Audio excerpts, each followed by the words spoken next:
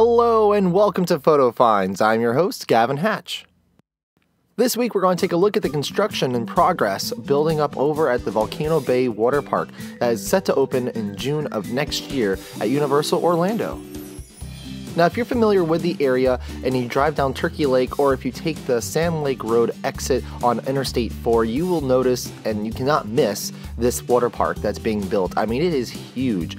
Uh, this has a lot done already, and there is a lot more to be done, but it is set to be open in June of next year, which is just astounding because they're going so quickly and they're building an entire park. And we know some parks it takes years just to build one attraction. So this is really a great achievement for Universal to build an entire water park in such a small amount of time. Now it's not going to be a very big park, it's only going to be 28 acres, but there's still a lot to get done. And you can see when you drive by, I mean these slides have been just going up quickly and they are huge and there's a lot of them and there's a lot more to come. So it's really exciting and I love how when you are driving down Turkey Lake or you drive by on I-4, you get a great view um, of the resort. So it's it's really cool. So let's take a closer look here. We're going to start at the entrance. Uh, these shots that were taken uh, were taken from the Cabana Bay Beach Resort, which is right next door.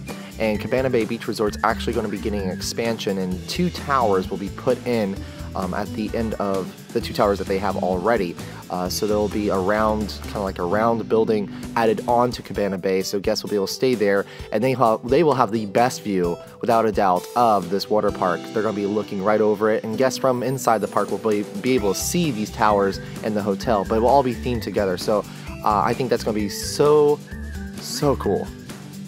Now, as most of you know, Wet n Wild is currently owned by Universal Orlando. That land was actually purchased by Comcast whenever they took over Universal, so that's no longer leased land. That is theirs, and they can do whatever they want with it.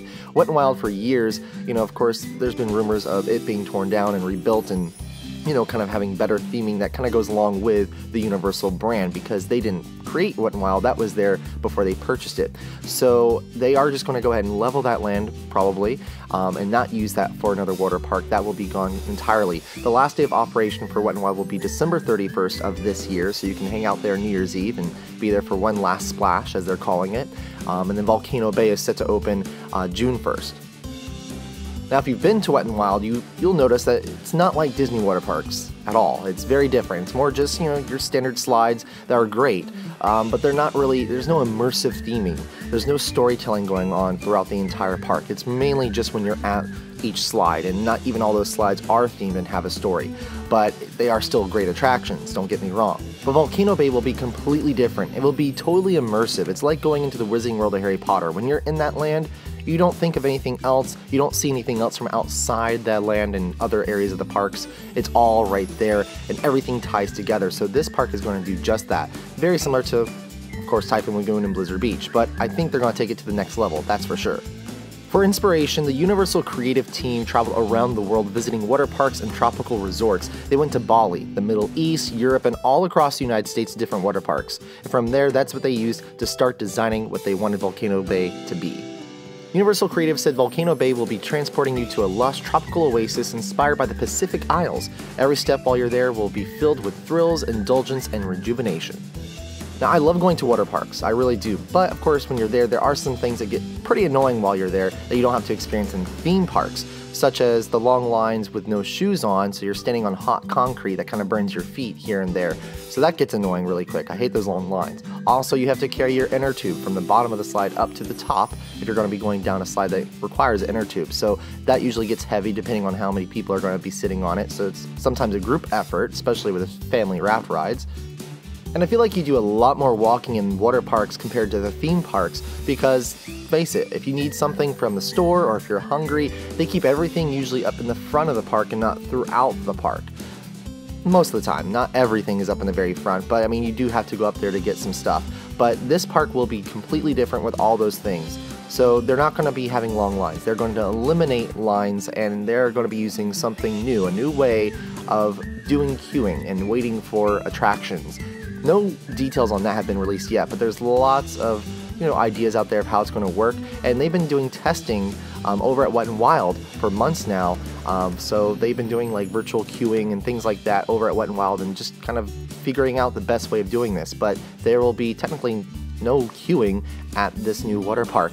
Also, you don't have to carry your rafts around. They're going to be developing systems and ways for the rafts to be at the top of the slide, so you don't have to walk around the park or wait in line carrying those rafts. So that will be really cool. Now, also, the amenities like dining and shopping will be all throughout the park. So if you want to get something to eat, there's going to be multiple different locations throughout the park, and as well as if you need to get more sunscreen or just any souvenirs, they will have shops around the park as well. Now, when you go to theme parks, of course, the parks are divided in themed lands, like the Magic Kingdom. Of course, you have Fantasyland, Adventureland, Tomorrowland, so on and so forth, and same thing goes for all the theme parks. You don't see themed lands inside water parks. At least I've never heard of that, and we don't have it here in Florida. But this park will have four different themed lands that will have Polynesian influences ranging from Easter Island, Hawaii, New Zealand, and, and many more. Now, within the 28 acres, there will be a total of 18 attractions, and Universal's already released the names of those attractions except one, and also the details of what type of attraction it will be. Now, the names are very interesting. They're very they're they're well themed, that's for sure. So well themed where they're kind of hard to pronounce. So, I want to say this: I feel bad for the team members that will be working there because I'm sure it's going to take them some time and getting used to memorizing how to pronounce these attractions. Also, I know guests are going to be coming up to them asking where things are, and the guests aren't going to be able to pronounce it very well. So, I'm sure there'll be a little confusion there, but we'll see. But they are creative and they are pretty funny names.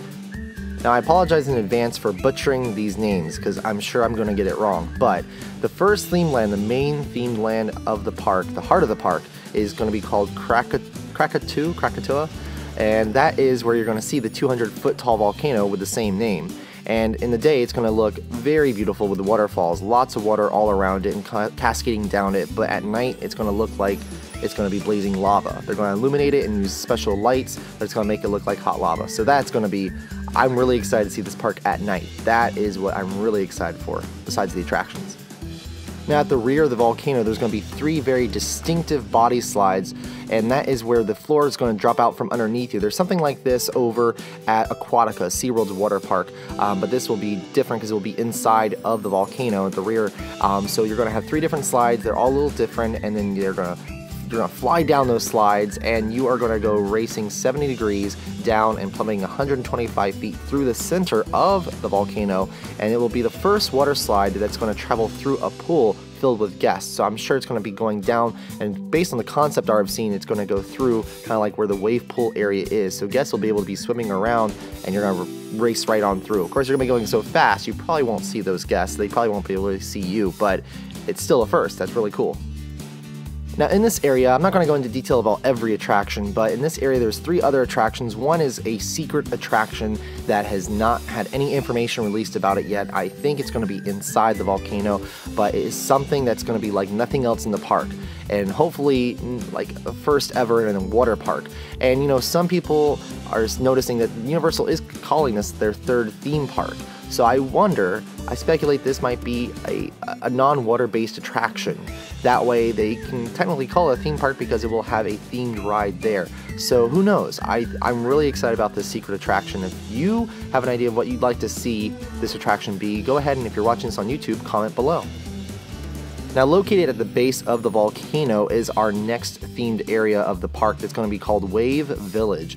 Now, this is going to be the perfect place to soak in the sun and relax on the beach. And this is where they have um, like a multi-directional wave pool, so they will have a wave pool. You can't have a water park without that. And they will also have private one or two story cabanas that's something, I've talked about this before. Um, I am so excited about these two story cabanas. I wonder what the price is going to be to have these for the day, but I think it'd be cool to get a big group of people together and really just have that to relax and enjoy the park in. So that's neat. And they're also going to have something called the Reef. Um, it's going to be just a leisure pool uh, with calmer waters. Um, and it's going to have great views of the riders speeding through that body plunge ride that we talked about just a second ago. Now, the third area of the park is going to be called River Village, and that's going to offer several family-friendly attractions. Um, that's where we're going to have like the uh, lazy river, and this is not going to be your typical lazy river. This is going to go in and out of the volcano. So you're going to have secret caves. There's going to be all kind of elaborate water effects going on. Uh, for the toddlers, there's going to be like uh, the Tot Tiki Reef, which is going to be a whimsical toddler play area. Of course, with you know probably kid side slides and different you know again water effects that they can run through and have fun with. There's also something I'm really looking forward to seeing, and I can see see it being built right now. And the concept art looks great. It's going to be called Honu, and it's an adventurous multi-passenger raft ride that will soar across a dual wall. So that is something I, I've never experienced anything like that. Now, the fourth and most exciting area of the park for thrill seekers is going to be Rainforest Village. Rainforest Village features an incredible assortment of attractions for thrill seekers.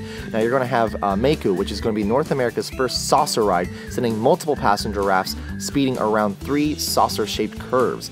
Um, there's also going to be the Oh Yeah and Oh No drop slides, two twisting, adrenaline pumping slides that launch you four or six feet above the water at the end.